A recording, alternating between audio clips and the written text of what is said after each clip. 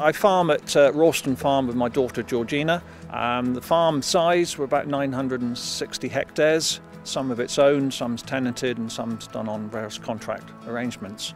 Uh, within the business, we have 320 milking cows in, in two herds, also another sort of 300 or so beef animals and followers for the dairy herd.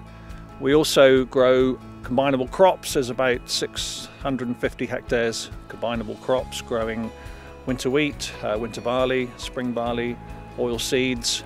We also grow obviously quite a lot of temporary grass for the, for the dairy cows. Also there's about uh, 40 hectares of maize.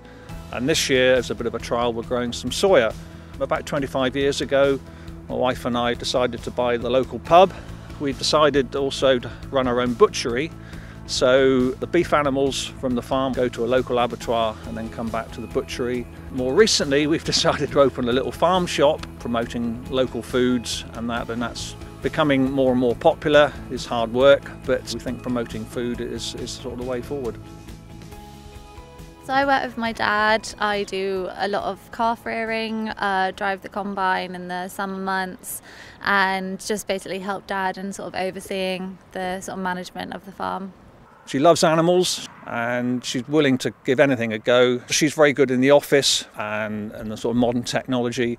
She can more easily grasp it than, than I can and, and she's, a, she's a great support to me. I really admire my dad. He is an incredible farmer. He's so dedicated to the farm. I've got such big boots to fill, and I've told him he's not allowed to retire yet because I'm not ready. I've got too much to learn from him. We dealt with Frontier for a, a, number of years, and more recently we've had uh, Russell Dean as our agronomist. He's become a family friend, and he, he understands our business. He understands what, what we're trying to achieve and, and our objectives, and he, he's a, a, great guy to work with. James and I have a close working relationship. Um, we've worked together for 15 years. It's really good. We keep in regular contact. We probably speak at least two or three times a week, uh, and a bit more in the, in the busy spring period and, and during harvest. Uh, I do three main roles on the farm. So the first of all, look after all of his crop protection. So I walk his crops, I advise him on what crop protection to apply, and then I'm also responsible for getting it ordered and getting it here on time. My second role is involved with crop nutrition, so I advise James on what fertiliser to apply.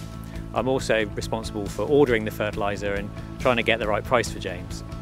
And my third role on, on the farm is I'm responsible for all of the cereal seed and the rapeseed that comes onto the farm. So I work with James on what he wants to grow and then I order the seed and then make sure we've got it here when he needs it. Every day on this farm is different and you start off with the best plan in the world and occasionally it doesn't quite go to plan. My first port of call is to check that all the herdsmen are happy and all the cows have been fed, milked, etc., and they've got no issues. Busy calving times, you know, we, we are sort of flat out helping them. And meanwhile, in the background, of course, the crops are growing, the crops need to be sown, and we need someone to sort of monitor them, check for disease, weeds, etc. And this is where, where Russell comes in and, and he will walk the crops, you know, and we'll discuss what treatments are needed, and, and he provides a great backup. The challenge here is that we've got a mixed farm, so we end up with complications around livestock and muck being applied, and the rotation has to fit in around the livestock enterprises.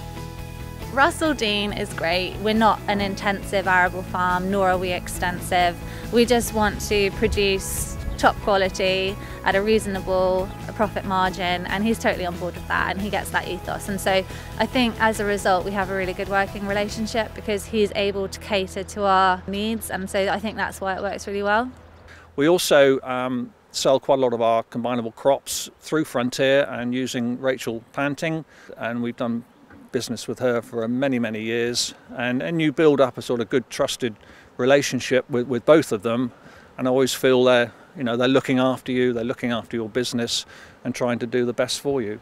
So my main role with James is I'm looking to purchase grain from him um, and also I see myself in an advisory capacity um, and giving James lots of information about markets, uh, what the market's requiring from him and I also use Russell to help me decide on uh, what varieties James should be growing and whether they're going to suit the marketplace that um, we have available for the produce that he has. We have a relationship where I don't need to bombard him with information. I just feed him what I think is appropriate. It's just as important to be telling someone what they perhaps shouldn't do as well as what they should be doing. And by doing that, the trust is built because they feel that your view is balanced rather than just pushing them down one route, basically. We really like marketing our grain with Frontier. They're very efficient, always at the end of the phone. Frontier have some fantastic customers that want to buy big loads of grain, and so we can't accommodate for all of that and so they just ring us up and offer us the price and do we want to sell don't we? Despite them being a huge firm they are actually really focused on us as a local business and they're really involved in the local community as well as the fact that they're strong enough to hold their own within the competitive marketplace and, and hold some good customers. If we do a good job for James and we work closely together he's more inclined to do more business and also he then looks outside of what I do and looks at what else Frontier can offer, whether that be King's SOYL, uh, fertiliser seed. Russell is my eyes and ears on the ground because he will see James on a much regular basis than I do and he can feed me back information and also I can impart my information about markets to Russell. So what we will do is once with the cropping has been decided, I'll talk to Rachel about what varieties are required, for, for example, on the Coors contract, and then we'll make sure that James is growing the right varieties for that. We'll also ask Rachel's advice on which are the best end markets. James likes to grow a little bit of low-grade milling wheat, so Rachel will have an input on that. So I liaise with Rachel for, throughout the year. I make sure she has an up-to-date cropping because the cropping can change sometimes um, and I might pick up the odd sample for Rachel that's required because I'm, I'm here on the farm a bit more often. Rachel's based in the office. So we work very closely together. I do keep an eye on the market trends, but Rachel you know, will um, either through emails or text or even ring me and say, well, look, there's an opportunity here for selling, um, which I perhaps hadn't appreciated, and, and she'll keep me up to date with what's going on, and then we make a decision on what when we're going to sell and, and how we sell. It's a joint decision at the end of the day. We all discuss and we, then we come together as a conclusion, but it's not one person telling the other what to do. We, we sort of bring it all together at the end. It works for everybody then. So about six years ago I realised that we didn't have a demonstration site in this part of the world. We had many other sites but this on the map there was a, a dot missing so James kindly agreed to become a demonstration site from Frontier and he's continued to do that for the last six years. And he likes to look at the new varieties that are being grown in the demonstration site. And a couple of years ago he introduced Siskin because he liked the look of Siskin in the demonstration site. And then this last year we've introduced shabras because the shabras look very well in the plots. So then we work with Rachel to make sure that we've selected the correct varieties that are going to meet the end market. We also work with Richard Hales from SOYL. More recently we've done some uh, soil mapping on part of the farm, um, trying to move into sort of more technology and we're now doing variable rate P and K on those fields and we're in our fourth year with Richard and we can now more accurately put down what inputs we think we need. We carry out the nutrient management service for, for James and Georgie what that entails is soil sampling on one hectare grids across their fields. The results are then mapped and then we create recommendations for them. We just felt there's a lot of variability within fields. Using technology and the GPS and our fertiliser spinner, we can now put variable rate P and K on. But we're finding the last couple of years, having done that for probably four years now, the crops are becoming more even, and, and we know where there's deficiencies, we, we know where there's sort of surplus nutrients, and we can more even them all out. Bringing the, the, the, the yield data in alongside all the nutrient data, they can then look at areas, say, that are, are poorly performing, look at it against the nutrient data, etc. See is, is it one of the macronutrients that's actually causing the problem? Is it something else? Is it compaction? It gives them the ammunition to actually look at what is driving a problem or conversely what's giving the yield. We have got some little clay caps and we found some acidic areas there and it's also highlighted to us we've got some magnesium problems that we've been able to pick up on. So not only is it helping to even up the P and K, we're also picking up some problems that we perhaps hadn't detected.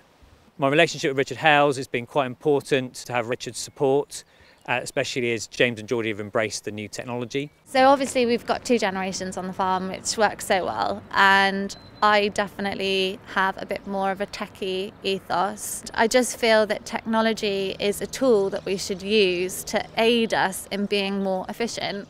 I've set them up this year actually with the iPad iSol system for applying variably. So the, the iPad uh, is rigged up to their controller on their tractor. We can bring all the customer's information together. One point they can view it all, different nutrients, soil type data, yield data can be brought into it as well. And it's a one-stop place to, to view and analyse all our information.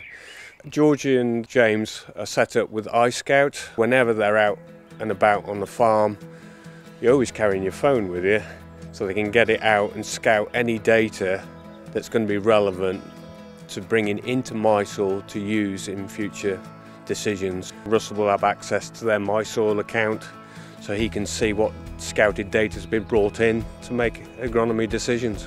The nice thing about MySOYL is that it's very easy to use, it's very user friendly, and it's obviously great that we have access to all the recommendations of applications just at your fingertips, and then also that we can use that iPad in the tractor cab to then communicate with our equipment to do the variable rate. Georgie's interest on the farm is to make sure the business is fit for the future. So Georgie's very keen to embrace new technology. So we're introducing My Farm onto the farm. My Farm is an app in which Russell can communicate what needs to be sprayed and then us on the farm can then say we've sprayed it, when and, and that kind of thing. More digital records definitely helps reduce the amount of paperwork in the office. I think looking forward, what we as a business would like is to look at how my farm can contribute to our benchmarking. So it's really important that we understand what our costs of production are moving forwards, especially as we live going to live in a volatile time, especially as we move towards Brexit.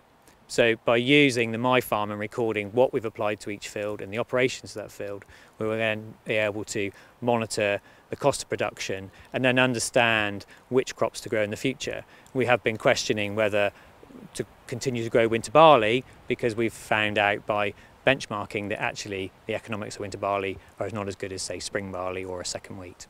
It's definitely something we see as a going to be a big part of the future. I think it helps in maximising our efficiency and hopefully will improve our productivity as well. We enjoy working with, with Frontier. I think the professionalism that their, that their employees show and, and the sort of trusted relationships that we have with them um, makes the job more, more pleasurable. With, what with a dairy herd, a beef herd, um, various diversification and all of the combinable crops we grow, it's very difficult for, for Georgie and I to be a specialist in, in absolutely everything. So we need the expert advice from Russell and Rachel and Richard for growing the crops that we do.